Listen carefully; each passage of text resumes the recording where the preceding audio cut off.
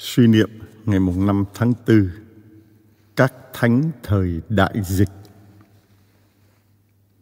Trong những thời khắc khốc liệt của lịch sử, đã xuất hiện các vị thánh được ơn chữa lành và ơn an ủi các nạn nhân, như dấu chỉ của lòng thương xót Chúa vẫn dành cho nhân loại.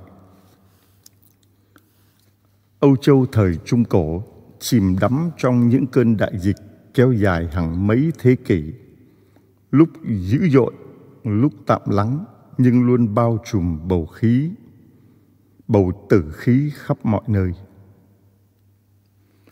Cơn đại dịch, cái chết đen, bắt đầu vào thế kỷ thứ 14 và bùng phát từ năm 1346 đến năm 1351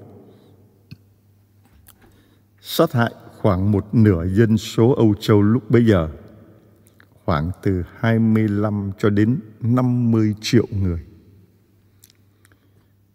Thế kỷ thứ 17, tại Ý lại bùng lên cơn đại dịch hạch kéo dài từ năm 1629 đến năm 1631, bắt đầu từ thành phố Milano rồi lan sang các nơi khác như Verona, Venezia, cướp đi mạng sống của gần 300.000 người.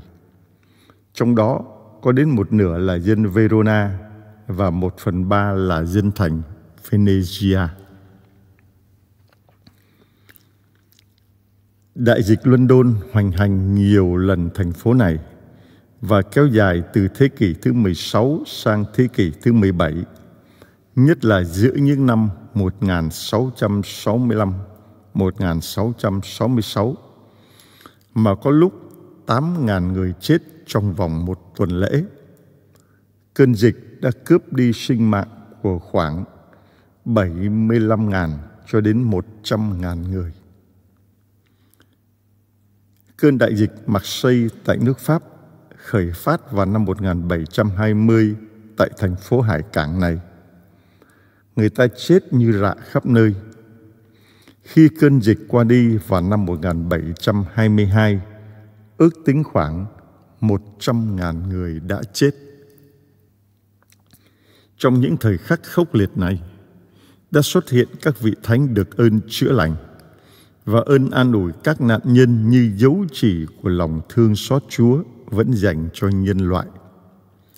Có vị đã phải đánh đổi bằng chính mạng sống mình khi phục vụ các nạn nhân – Xin được giới thiệu dưới đây những vị thánh tiêu biểu trong thời đại dịch.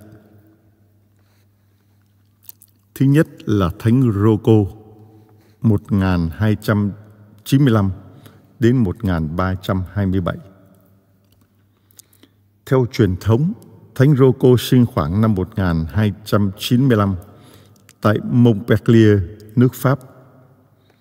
Lớn lên, Rocco theo học ngành y sau khi cha mẹ qua đời, thánh nhân bán hết tài sản thừa kế đem phân phát cho người nghèo, gia nhập dòng ba phan sinh, rồi lên đường hành hương Roma, đang lúc cái chết đen khởi phát ở Âu Châu.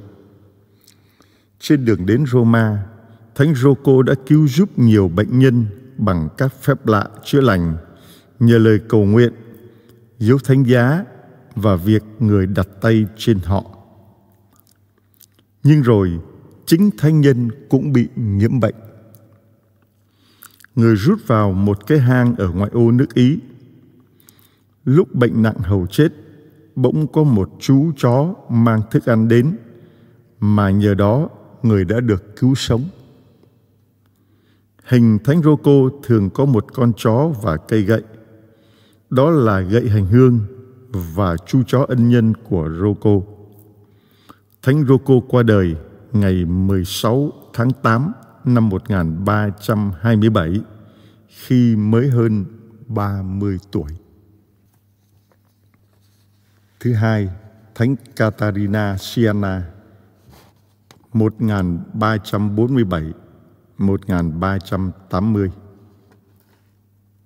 Catarina sinh ngày 25 tháng 3 năm 1347 đúng lúc cơn dịch đen đạt đỉnh điểm, sự tàn phá của nó cướp đi cả một nửa dân số âu châu Katarina là con út trong một gia đình 25 người con. Cô bé đã may mắn sống sót và lớn lên trong thời đại dịch. Katarina đã không ngần ngại làm việc phục vụ các bệnh nhân vì họ rất cần được quan tâm chăm sóc. Bây giờ có một linh mục đưa núi bệnh viện nhiễm bệnh nặng và đang nằm chờ chết. Katarina đi thẳng vào phòng ngài mà gọi. Dậy thôi cha ơi, cha cần phải ăn lấy sức vì có nhiều việc phải làm. Không có thời giờ để nằm liệt đâu, thưa cha. Vị linh mục ngỡ ngàng, ngồi dậy và thấy mình hết bệnh ngay lúc đó. Cũng có những lúc chị cảm thấy mình bị Thiên Chúa bỏ rơi. Chị nói, Lạy Chúa, Ngài đang ở đâu khi mà trái tim con bấn loạn vì những cám dỗ điên dại và đáng ghét? Sau một thời gian, Chúa lại hiện đến với chị, người nói, Hỡi con, ta ở trong trái tim con và nâng đỡ con bằng ân sủng. Được những lời này an ủi và soi sáng, Katarina tiếp tục thực thi tình thương và lòng trắc ẩn sâu xa đối với các bệnh nhân trong cơn đại dịch.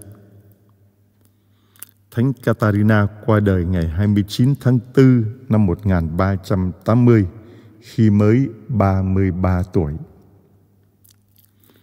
Kinh Thánh Katarina Lạy Chúa là đấng đã ban cho Thánh Katarina nên vinh hiển về ơn riêng Đức Đồng Trinh và Đức Nhịn Nhục mà thắng trận các quỷ dữ cùng giữ lòng kính mến tên Chúa cách vững vàng.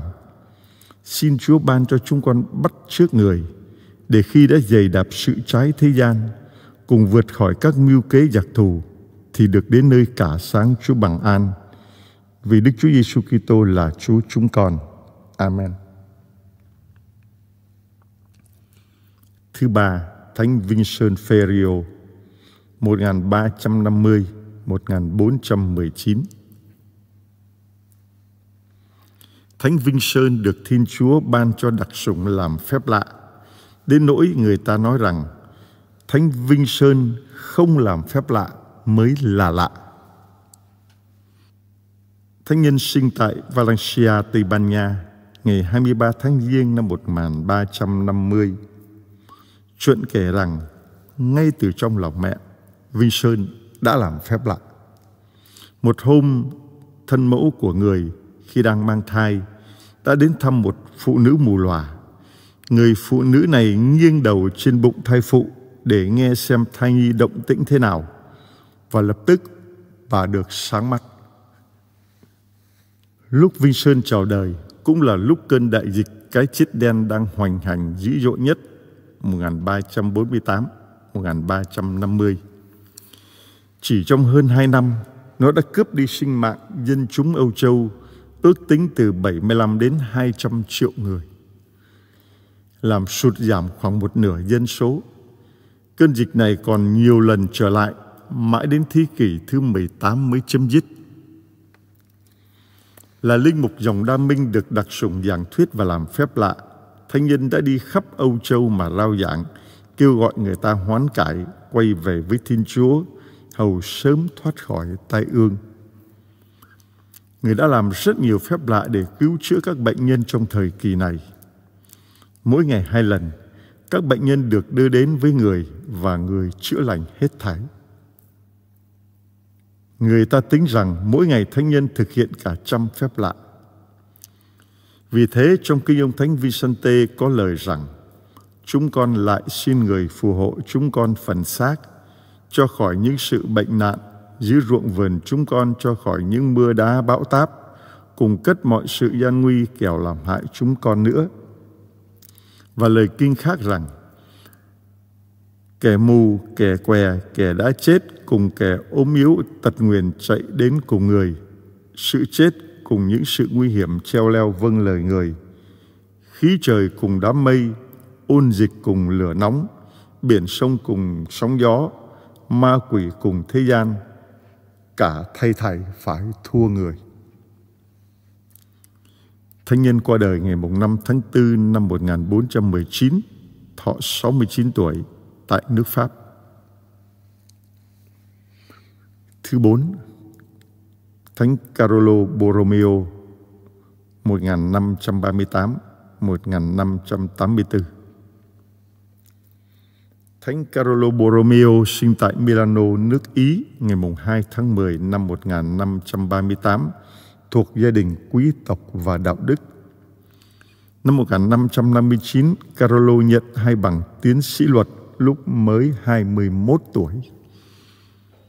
Năm sau, người được triệu về Roma và được phong hồng y kiêm tổng giám mục Milano, người phụ giúp Đức Pio thứ tư trong cuộc bế mạc công đồng Trento vào năm 1563.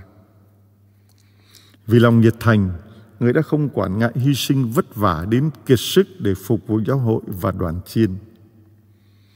Khi cơn dịch tả và nạn đói xảy ra tại Milano vào năm 1576 đến năm 1577, Thánh nhân đã dấn thân hết mình khi chính quyền và giới quý tộc đã bỏ chạy vì cuộc khủng hoảng nhân đạo ngày càng trầm trọng. Thị trấn Locarno dưới chân núi Alp với dân số 4.810 người mà chỉ còn lại 700. Trước tình cảnh ấy, Thánh Carlo đã ban bố các chỉ dẫn để kiểm soát sự bùng phát dịch bệnh, thiết lập các bệnh viện giã chiến, tổ chức các thiện nguyện viên và các nhân viên y tế tại các bệnh viện, bán tất cả đồ đạc trong tòa giám mục để lấy tiền cứu trợ các nạn nhân. Người miệt mài lo cho dân chúng, thăm viếng và giúp đỡ các bệnh nhân. Cuối cùng, người kiệt sức và ngã bệnh mà chết vào ngày 3 tháng 11 năm 1584 khi mới 46 tuổi. Lạy Thánh Carolo xin cầu cho chúng con. Thứ năm, Thánh Camilo Lelis 1550-1614 Camilo sinh ngày 25 tháng 5 năm 1550 tại miền Napoli, nước Ý, trong một gia đình quý tộc và đạo hạnh. Camilo có một tuổi thơ nghịch ngợm và thời niên thiếu lêu lỏng. Nhưng năm 1575, Camilo được ơn hoán cải và quyết tâm dâng mình cho Chúa trong ơn gọi phục vụ các bệnh nhân. Năm 1582, Thánh nhân thiết lập dòng tá viên phục vụ bệnh nhân, quen gọi là dòng Camilo. Thời Đức Giáo Hoàng Gregorio thứ 14 năm 1591, dịch bệnh hoành hành khắp thành phố Roma, cướp đi 60.000 sinh mạng. Cha Camilo và các tu sĩ của dòng hiến thân phục vụ các nạn nhân của cái chết đen.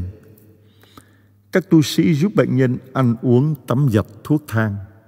Các vị cũng luôn cận kề bên những người lâm chung để an ủi, động viên và cầu nguyện cho họ.